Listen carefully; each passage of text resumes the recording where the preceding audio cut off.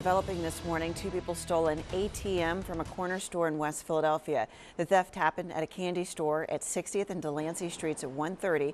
Police say the crooks managed to dislodge the ATM from the store, load it onto an older model pickup truck with writing on the driver's side, and drive away. It's not clear how much cash that machine contained. The city of